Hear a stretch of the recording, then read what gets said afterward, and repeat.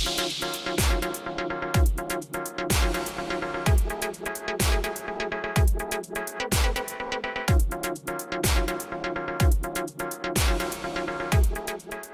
Wochenrückblick von 10. bis 16. Dezember 2018. Die Obertraubling News wünscht Ihnen einen schönen und gemütlichen dritten Advent. Wir waren für Sie am Samstag und am Sonntag auf den Obertraublinger Christkindlmarkt mit der Kamera unterwegs. Auch der Nikolaus besuchte den Weihnachtsmarkt und eine Ausstellung der Frauenunion 60 Jahre Lego konnte im Rathaus besichtigt werden.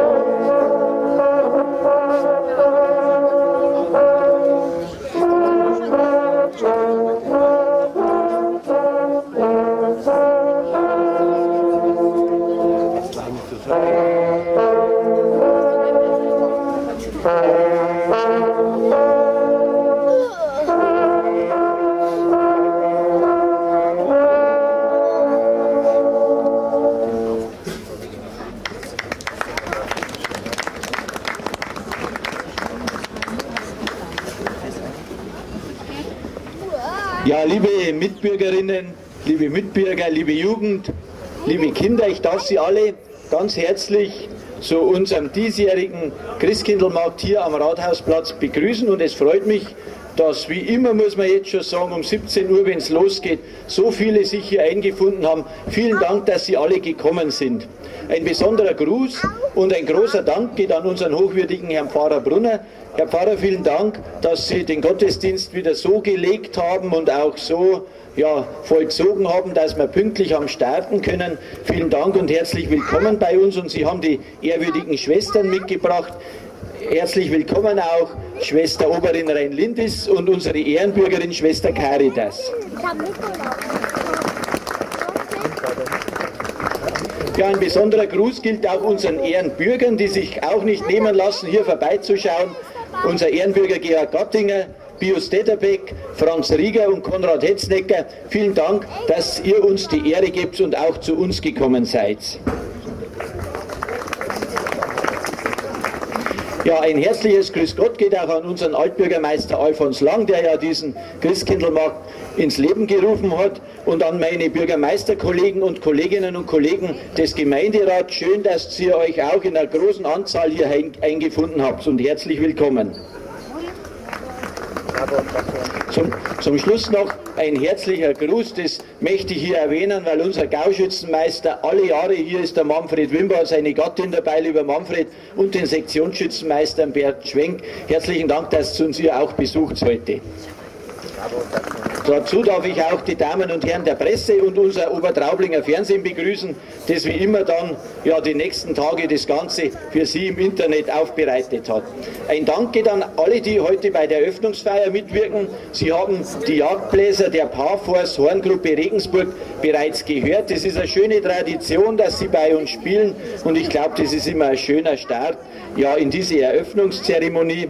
Im Anschluss an mich wird her noch unser Chor Passerida unter der Leitung von der Frau Appe Weihnachtliches uns singen. Und natürlich kommt der Nikolaus mit seinem Christkind. Auch hier ein herzlicher Dank an alle, die hier mitwirken. Dank geht auch an, ja, da können wir ruhig kurz applaudieren, weil die sich auch Zeit nehmen, um uns ein bisschen einzustimmen. Ein Danke an unsere örtlichen Vereine und Stammbetreiber, dass sie sich wieder die Arbeit gemacht haben, hier die, die Stände zu dekorieren und, und zu schmücken und dann äh, ihnen etwas zum Besten zu bieten. Dank und auch hier mit Hinweis gleich auf unser Programm geht an unsere Gemeinde- und Pfarrbücherei, wo Sie im Erdgeschoss, im Rathaus wieder den Bücherflohmarkt besuchen können. Schauen Sie sehr nach, da gibt es was zum Lesen äh, über die Weihnachtsfeiertage, wenn es vielleicht zu stark wird, haben Sie da Gelegenheit, sich mit Büchern einzudecken. Ein Dank geht auch an die Frauenunion. Es ist auch eine schöne Tradition, dass im ersten äh, OG bei uns im Sitzungssaal immer eine Ausstellung stattfindet. Heuer steht das Ganze unter dem Motto ja, Lego, Bausteine, das kennen Sie sicher, da kommen vielleicht äh, Kindheitserinnerungen wieder zum Vorschein. Äh, hinweisen möchte ich auch auf morgen Nachmittag. Um 15 Uhr kommt der Kindergarten Regenbogen und im Anschluss die Kinder der Hermann-Zierer Grundschule. Und ein Highlight sicherlich dann um 17 Uhr. Ja, vom Trachtenverein Holzacker das Adventssingen in der Kirche. Spätestens dann, glaube ich, kann man äh, in der Kirche mal die Augen schließen und sich dann richtig auf Weihnachten freuen.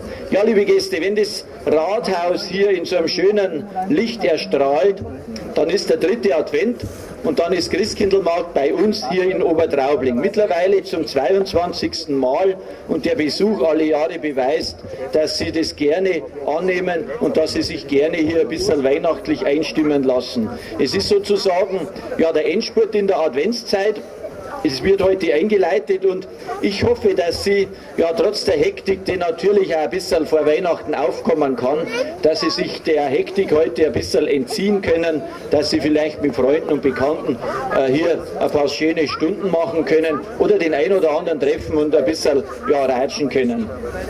Genießen Sie die schönen Stunden hier bei uns am Christkindlmarkt und vielleicht, das ist ja auch immer so in der Weihnachtszeit, vielleicht denkt man auch an die Menschen, denen es nicht ganz so gut geht wie uns und ich glaube, das ist so ein bisschen die Botschaft immer von Weihnachten, dass das Ganze einfach auch immer miteinander ja, stattfinden sollte. Weihnachten ist ja hier eine ja, eine gute Gelegenheit, dass man auch Gutes tut und das kann schon beim Nachbarn losgehen, wenn man dem ein wenig hilft. Ich glaube, man kriegt da auch, wenn man den Dank zurückkriegt, äh, ist das auch immer ein schönes Gefühl, jemandem helfen zu können.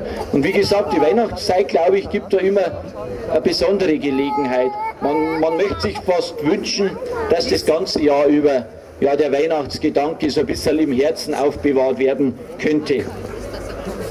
Ja, ich wünsche Ihnen jetzt hier bei uns am Christkindlmarkt schöne Stunden. Wie gesagt, hoffe, dass Sie den ein oder anderen Bekannten treffen, dass vielleicht ja, sich gut unterhalten und darf in diesem Sinne unseren Christkindlmarkt offiziell eröffnen. Vielen Dank für Ihr Kommen und ich wünsche Ihnen dann frohe Weihnachten und einen guten Start ins neue Jahr.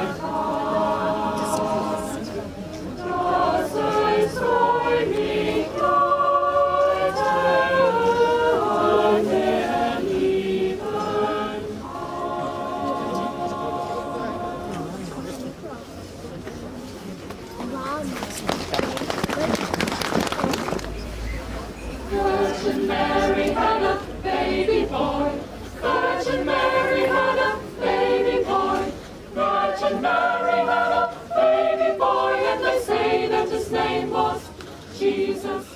Virgin Mary had a baby boy. Virgin Mary had a baby boy. Virgin Mary had a baby boy. And they say that his name was Jesus. He came from the glory. He came from the glory of his kingdom. He came from the glory.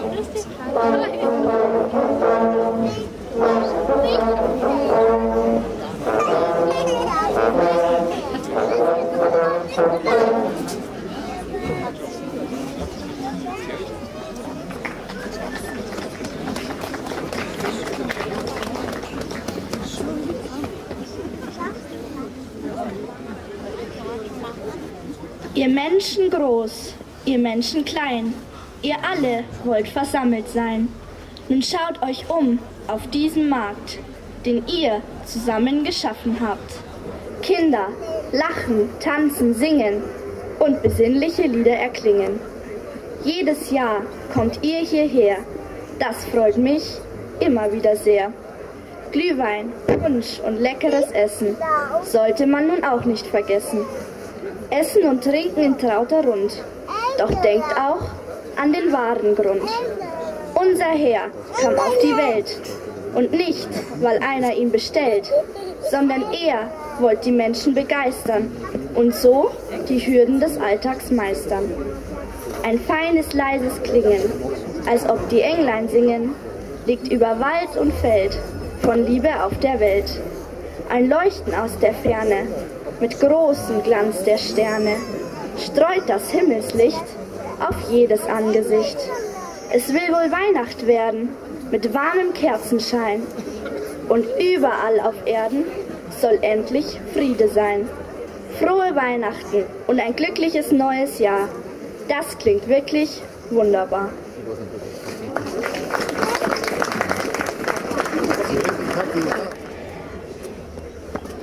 Ja, Weihnachten ist nicht mehr weit und jedes Jahr zu dieser Zeit St. Nikolaus, nun zieht er aus, besucht die lieben Leute da draus. Genervt gehen viele durch die Zeit, den anderen moppen, das ist ihr Freit. Ein jeder schaut auf seine Interessen und hat die Weisheit mit dem Löffel gefressen. Einstecken und Kritik vertragen, das können nicht mehr viele, das kann ich euch sagen. Am Ende zählt oft nur das Geld. Jeder nimmt, was ihm gefällt. Wer das meiste hat, der ist ein Held. Sind wir uns christlicher Werte bewusst oder schieben wir halt einfach Frust? Respekt, Toleranz und Solidarität, ohne die eine Gesellschaft niemals geht. Lasst uns unser Profil neu schärfen und nicht mit Dreck auf andere werfen. Ich komme gern hierher zu euch, ihr so vieles geschafft in diesem Jahr. Der Nikolaus findet's wunderbar. Dem einen, den ich gerne lobe, zu dem guck ich naturgemäß nach oben. Ein Mann mit Anstand und großem Herz, der weiß, wo die Menschen haben Schmerz. Rudi Grass, so heißt er, euer erster Bürgermeister. Besonders seine sozialen Manieren tun mir immer imponieren. Er grüßt und schaut dir ins Gesicht. Da gibt es einige, die tun das nicht. Rudi hat Herz und ist nicht blöd für den Erfolg er nicht über Leichen geht. Selbst Leuten, die ihm in den Rücken fallen, wird er nie die Tür zuknallen. Menschlichkeit als Schwäche auslegen, für mich ist sie vielmehr ein Segen. Dann die nächsten Bürgermeister sind auch fleißige Kommunaldienstleister. Auch den Gemeinderäten ist zu danken, die sich um den Rathaustisch ranken. Sie nehmen sich Zeit und denken mit, damit Obertraubling mit der Welt hält Schritt. Ja, ihr braucht euch nicht verstecken, euer Amt ist gewiss kein Zuckerschlecken. Darum lasst euch loben jetzt, dass ihr euch auch für die Allgemeinheit abhetzt. Doch eines sage ich schon jedes Jahr. Bei der Sportlerehrung ja für wahr, da machten sie sich wieder rar. Unsere Sportler auch zu ehren, sollte sich für sie schon zieren. Schließlich kommt ja bald die Zeit, wo man sich über Wählerstimmen freut. Und auch bei der Eröffnung historischer Stelen dachten sich viele, da kann ich fehlen. Zuerst am Tisch mit Beschlüssen glänzen und bei der Hauptsache dann mal schwänzen. Mir ist schon klar, es ist nicht leicht und so oft halt die Zeit nicht reicht. Aber das wird besser im nächsten Jahr, denn wieder wird von Wahl gesprochen, kommen Sie dann angekrochen. Ihr habt so viele gute Leute, ein paar erwähnen möchte ich heute. Sigrid Platzek und Erwin Bachmeier, die opferten ehrenamtlich so viel Zeit, dass mich ihre Ehrung freut. Nein, es ist keine Anekdote.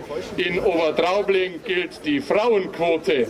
Für Schwester Caritas ist das keine Bürde. Sie erhielt mit Freuden die Ehrenbürgerwürde.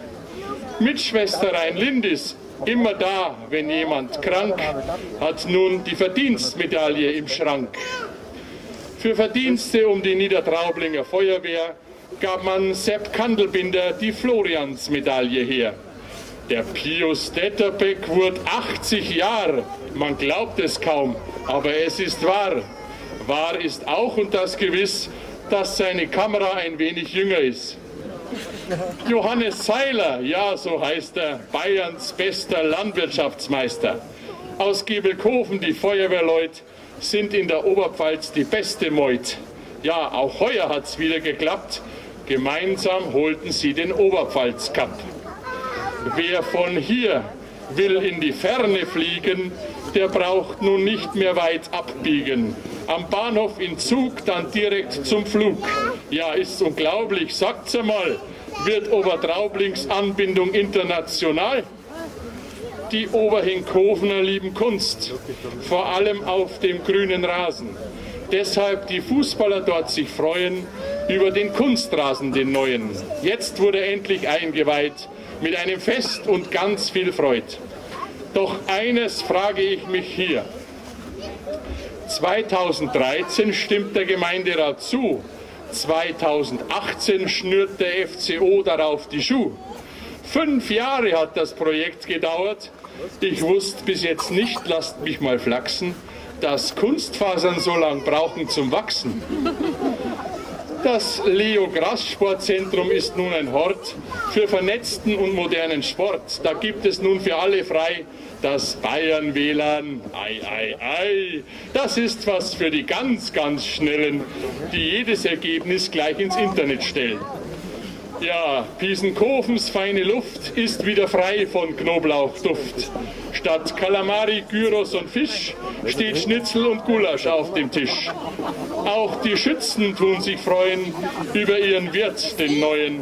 Für die Jugend gibt's wieder Currywurst, die Alten haben eh bloß Durst. Eurem Pfarrer scheint nichts aus der Ruhe zu bringen. Er möchte halt einfach nur Gottes Botschaft singen. Ein Pfarrer hat immer Arbeitszeit, egal ob es traurig oder gefreit. Euer Pfarrer sicher gern Dienst tut. Er verkündet die Botschaft mit ganz viel Mut. Auch die Oberhinkofener haben einen neuen, frommen, frommen, gottgetreuen. Pfarrer Wiesbeck ist nun da. Wir wünschen ihm, ja für wahr, immer nur das Beste, vor allem viele Messegäste. Doch nicht nur Sport, auch viel Kultur. Die Gemeinde bringt gar viel hervor. Theaterbrettel, Bibliothek und Lesekreis. Alles betrieben mit größtem Fleiß. Gospel, Kinder- und Kirchenchor, dazu Sängerbund und Passerie da, singen ganz oft Glöckchen klar. Die Vielfalt ist ein großes Gut, macht weiter so, das tut uns gut. Denn Kunst und Musik, das sage ich euch, bilden jedes Menschen Persönlichkeit. Kultur tut jeder Gemeinde gut, ihr Obertraublinger macht mir Mut. Man wartet noch in manchem Haus auf mich, den heiligen Nikolaus. Wenn ihr euer Herz bereitet, dann habt ihr einen guten Lauf. Das Fest der Feste kann dann kommen. Wir freuen uns alle schon darauf. Rundum eine schöne Weihnachtszeit, viel Glück und viel Zufriedenheit, so recht nach unsere alten Bräuch.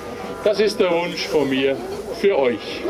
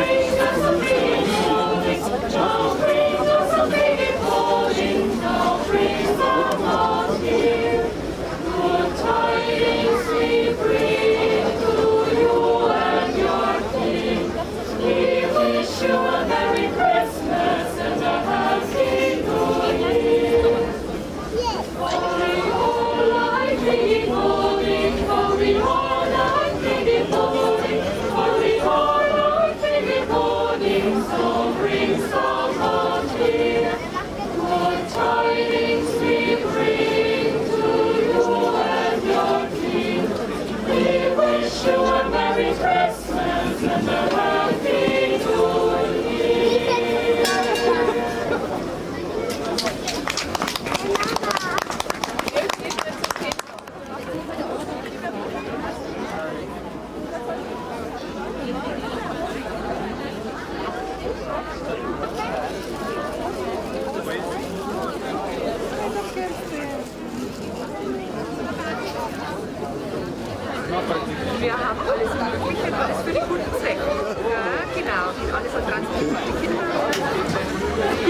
wir sind ein äh, Verein für transplantierte Kinder und wir verkaufen nichts. Bei uns geht alles auf Spendenbasis und es geht eins zu eins in die Betreuung von den Familien, die ein transplantiertes Kind zu Hause haben und vor allem auch die Geschwisterkinder, die oftmals sehr zu kurz kommen, wenn das äh, Geschwisterkind, das Transplantierte, einfach jahrelang im Krankenhaus ist. Und genau, das ist unsere Herzensangelegenheit, weil wir da auch selber betroffen sind mit meinem Sohn und dafür stehen wir da.